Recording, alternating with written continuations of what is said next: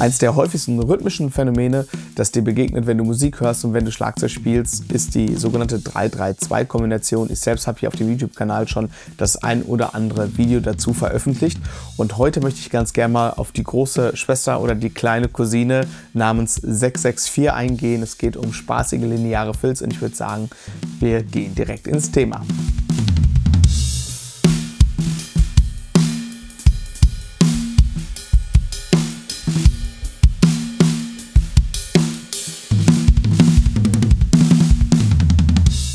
Bevor wir jetzt ins Thema einsteigen, ich habe alle Übungen, die ich dir hier demonstrieren werde, in Notenform aufgeschrieben und unten in der Videobeschreibung findest du einen Download-Link, da kannst du dir eine PDF-Datei mit den Noten herunterladen. Jetzt aber ins Thema.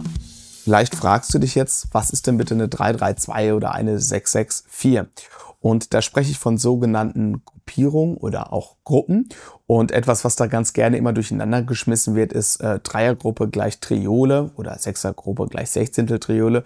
Und das ist erstmal nicht so gemeint. Meiner Definition nach ist eine Gruppe erstmal eine festgelegte Anzahl von Schlägen, wobei selbst das auch äh, noch ein bisschen für Konfusion sorgen kann. Also ist es zum Beispiel so, dass das Hörterlick oder Hybrid Rudiment vielmehr auch eine Dreiergruppe ist, das allerdings aus vier Schlägen besteht. Deswegen würde ich per Definition immer sagen, bei einer Dreiergruppe, einer Vierergruppe, egal jetzt welche Zahl, kannst du eine x-beliebige einsetzen, sprechen wir erstmal von einer ja, Gruppe äh, und die ist definiert vor allem durch die Phrasenlänge. Das heißt also, die Phrase dauert drei Achtelnoten lang oder fünf Achtelnoten lang oder sechs Achtelnoten lang. Und dann sprechen wir eben äh, ja, von einer Gruppierung oder von einer Gruppe. Jetzt habe ich gerade schon gesagt, die 3-3-2-Kombination ist eine, die geht wirklich quer durch alle Styles. Pop, Rock, Metal, Jazz, Schlager, alles, was irgendwie in Süd- und Lateinamerika passiert, da ist es auch super omnipräsent und du wirst es schon ja in den unterschiedlichsten Songs wirklich dutzende Male gehört, wahrgenommen und wahrscheinlich auch schon selber gespielt haben, vielleicht sogar ohne, dass du weißt, dass es dieses Teil ist. Wenn du jetzt gut aufgepasst hast, wirst du feststellen, 664 ist im Grunde genommen nur so eine Art Verdopplung davon. Das stimmt auch. Und im Grunde genommen ist es insofern auch genauso gedacht, als dass diese 332-Kombination sehr häufig äh, ja, in Achtelnoten angewendet wird und die 664 Fill-Anwendung, die ich dir hier in diesem Video ein bisschen näher zeigen möchte, die ist gedacht in 16. Noten. Heißt also, wenn du 6 plus 6 plus 4 addierst, kommen da insgesamt 16 Noten, 16 Schläge heraus und 16 16. Noten ergeben dementsprechend auch einen ganzen Viervierteltakt. Starten wir mit der Sechsergruppe und die folgt dem Prinzip 4 oben, 2 unten. Bedeutet, ich spiele mit meinen Sticks vier Handschläge als Single Strokes, also rechts, links, rechts, links und dann spiele ich zwei Schläge mit meinem rechten Fuß auf der Bassdrum. Das interpretiere ich mal kurz als Achteltrio und spiele es mal so ein bisschen in der Schleife, dass du die Phrase verstehst.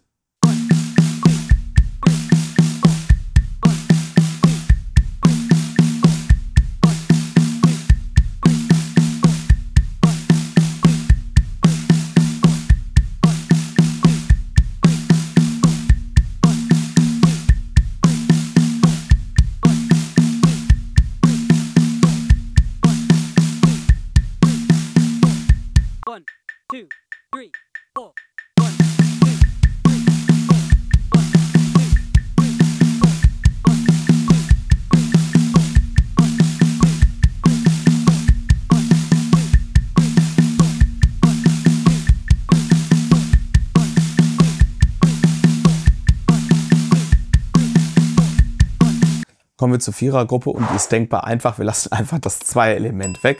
Heißt, du spielst nochmal vier Handschläge mit dem Handsatz rechts, links, rechts, links. Und falls du Linkshänder oder Linkshänderin bist, spiegelst du das dementsprechend. Das heißt, du würdest diese vier Single Strokes mit deiner linken Hand starten und natürlich die Bassdrum auch mit dem linken Fuß sein. Du hast ein fancy Setup.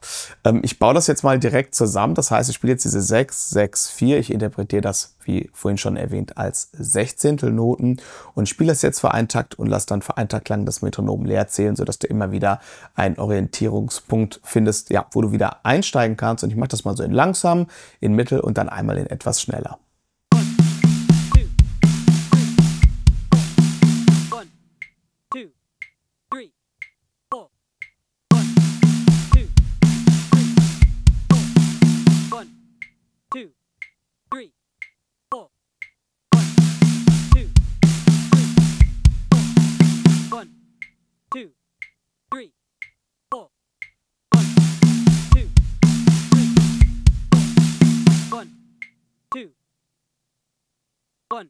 two, three.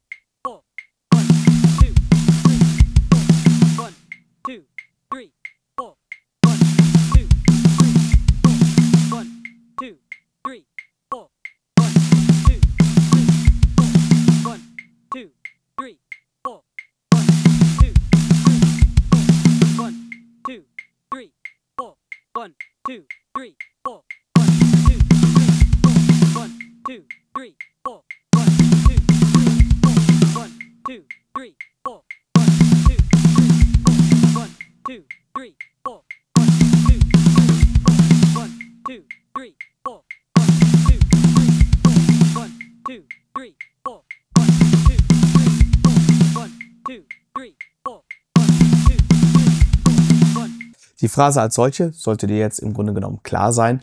Im nächsten Schritt würde ich jetzt in diesen Leertakt einen einfachen Achtelnoten-Groove einfügen. Ich gehe im Tempo wieder runter, also wird es jetzt ziemlich genau halbieren. Das schnelle Tempo, was ich gerade gespielt habe, waren 120 BPM, das langsame waren 60 und das in der Mitte waren 90. Also ich gehe wieder zurück auf 60 BPM, spiele in den Leertakt noch einen Achtelnoten-Groove rein und starte damit die Handschläge zu orchestrieren. Und das mache ich erstmal, indem ich die ja, Vierer-Pakete sozusagen der einzelnen Gruppen immer komplett lasse. Das heißt, ähm, ich habe immer vier Handschläge auf einer Trommel oder auf einem Becken.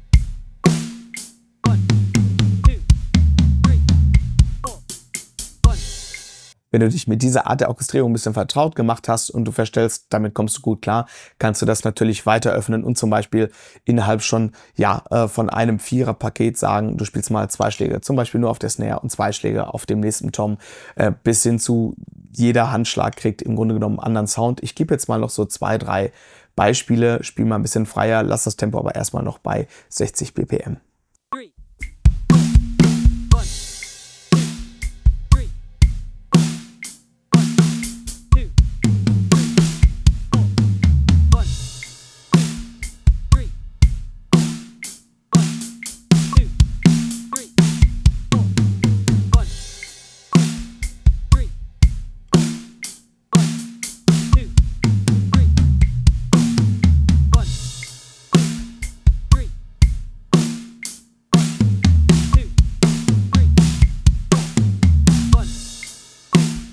Wie du gerade sehen konntest, ist es so, wenn ich mit der Orchestrierung ein bisschen offener umgehe, also nicht mehr diese Vierer-Pakete ganz lasse, dann erkennt man gar nicht mehr so stark, dass es so eine Art Klischee 664 Kombination ist. Also klar, man kann das schon noch hören, aber je nachdem, wie du ja mit der Orchestrierung umgehst, ist es schon nochmal eine ganz andere Hausnummer, will sagen, es klingt deutlich komplexer und in dem Fall möchte ich nicht sagen komplex gleich schlecht, sondern im Sinne von spannender. Spannender ist das Wort, nach dem ich gesucht habe.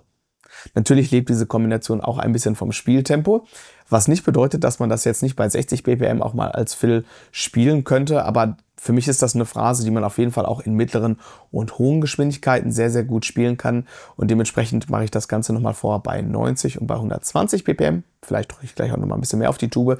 Äh, genau, also 90 und 120 BPM. Und ähm, ich bleibe jetzt auch bei der Orchestrierung offen. Das heißt, ich gehe mal schon nach zwei Handschlägen irgendwie auf einen anderen Sound, auf eine andere Trommel, auf ein anderes Becken.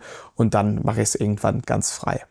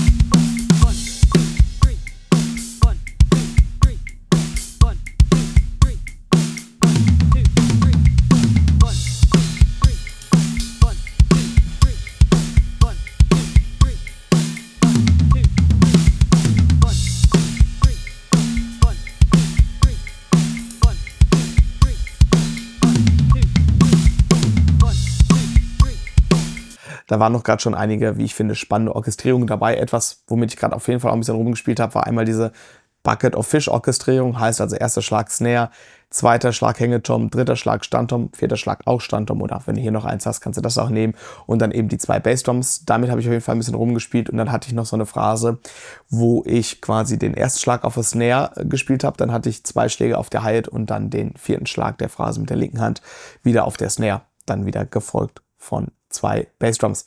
Was du mit dieser Kombination auch sehr gut machen kannst, ist sie zweitaktig zu spielen. Dann würde ich aber nicht 6-6-4 spielen, sondern ich würde erst alle Sechsergruppen sozusagen aufbrauchen und hinten raus dann auch nicht zwei Vierergruppen spielen, sondern ich würde einfach eine Sechsergruppe mehr machen und dann ergeben sich daraus hinten sozusagen zwei Restschläge.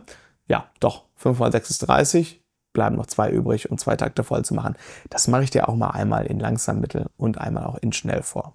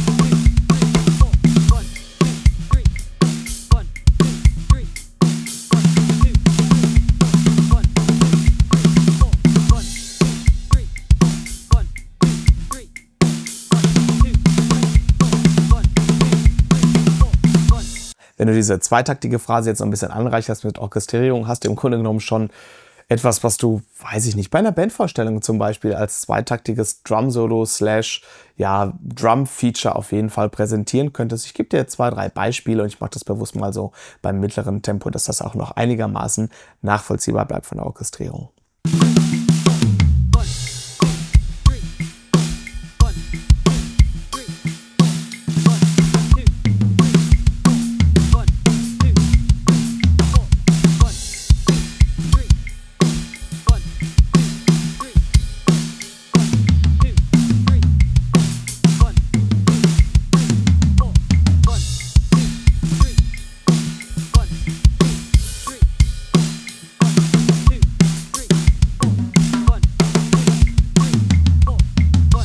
So viel für heute mal zur 664-Kombination. Ich möchte natürlich sagen, das ist bei weitem noch nicht ausgeschöpft. Man könnte jetzt neben dem Fakt, dass man es noch anders orchestrieren kann, das Tempo raufschrauben. Über Dynamik habe ich absichtlich in diesem Video noch gar nicht gesprochen, aber das wäre auf jeden Fall ein dezenter Hinweis. Man könnte mal schauen, was man ja mit den vier Handschlägen so in Sachen Akzente setzen noch so machen kann. Und dann ist es natürlich so, dass man das Ganze auch noch in anderen Subdivisions spielen und anwenden kann. 16. Triolen zum Beispiel würden sich bei der Sechsergruppe total aufdrängen und auch 32. Noten sind auf jeden Fall ja eine Überlegung wert. Ich hoffe, du hattest eine gute Zeit beim Gucken des Videos und konntest für dich wieder ein bisschen Inspiration tanken. Wenn das der Fall gewesen ist, freue ich mich natürlich über einen Daumen nach oben. Und wenn du mehr Videos von mir gucken möchtest, abonniere sehr gern meinen YouTube-Kanal. Ich wünsche dir jetzt viel Spaß beim Ausprobieren des Fills und würde sagen, wir sehen uns demnächst wieder hier auf YouTube. Bis dahin, eine gute Zeit. Ich bin raus. Ciao.